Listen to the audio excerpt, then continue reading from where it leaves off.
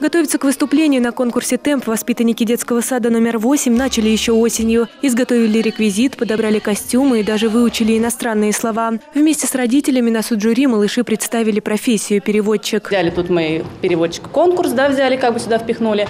И также добавили сюда то, что Международный день нашли, что, оказывается, 30 сентября есть такой день переводчика. То побольше информации для детей, чтобы они узнали как бы эту профессию. Для Вики и Пети это было первое выступление на сцене. Ребята уверенно держали в руках микрофон и без стеснения четко и с выражением рассказали зрителям о выбранной профессии. Нам очень понравилось выступать на сцене, особенно с песней. И мы в следующий раз еще раз сюда придем. Финал конкурса «Темп» вышло 14 детских садов. В каждой команде по 4 человека, 2 ребенка и 2 родителя. В этом году темой фестиваля стали сразу несколько профессий. В связи с годом театра это творческие направления. Год села – это сельское хозяйство. И плюс еще год языков коренных народов России, малых народов. То есть одна профессия тут была представлена в этой номинации – это переводчик.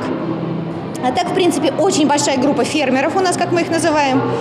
И э, всего пять команд выбрали профессии творческого плана. Все участники театрального марафона профессий получат дипломы и подарки, а победители будут награждены специальными призами от канала 16. Церемония награждения пройдет 2 февраля на сцене Дворца детского творчества. Ирина Вышегородцева, Артемий Глазков, Владимир Лисик. Служба новостей Саров 24.